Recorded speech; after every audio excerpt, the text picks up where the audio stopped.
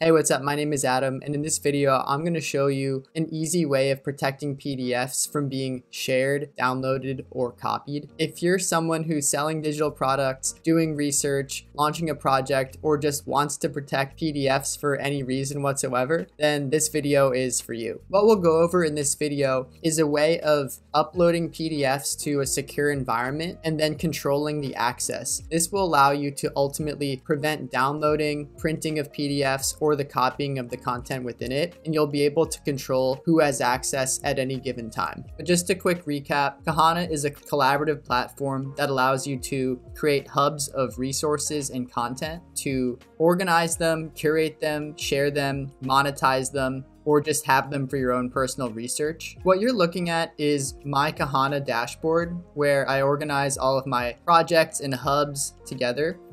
In this video, I want to focus on this project hub right here.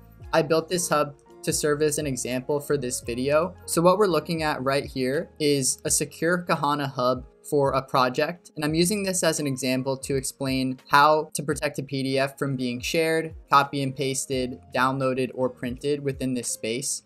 This is where we're going to have project information. So this could be PDFs and slide decks, perhaps. You can have multiple PDFs and put them within a folder. Downloading and printing are disabled. As you can see here, when I try to click the print button, nothing happens.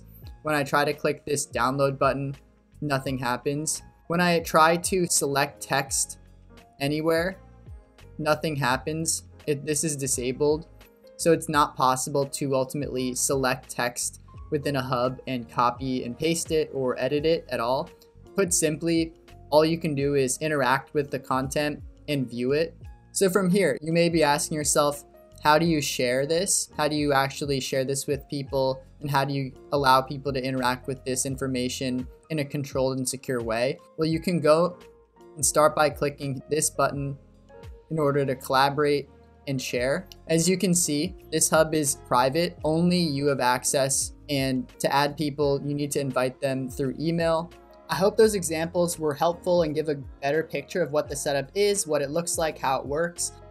When it comes to the types of digital products that you can upload into a hub, you have a lot of flexibility. You can upload PDFs, videos, Google Docs, Google Sheets, other types of media like links. When you upload a PDF document, the quality will be preserved, so you don't have to worry about it looking different than you designed it. When you upload it to a hub, it'll come out exactly as you imagine it. Each hub of digital products can be thought of as its own unit or its own theme. And each hub has its own link associated with it that you can copy and paste and use across social media or your website to share.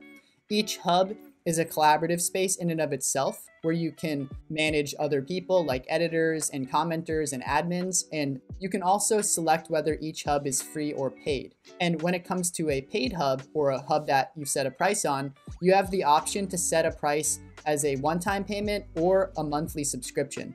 When customers pay to access your monetized hubs, you're gonna get payouts automatically processed through Stripe. If you wanna chat with people and comment and have discussions in hubs, you can do that. There are chat threads where you can send messages and interact with people. And lastly, if you ever have any trouble, you can let us know in the comments here, or you can reach out to our chat. I recommend checking out our crash course tutorial, which is a 15 minute video that goes step by step through the process of setting up Kahana completely from scratch. If you have any questions about this setup or problems you run into while you're doing it, please let us know in the comments. If you have any ideas for future videos or specific topics you want us to cover in future videos, let us know in the comments.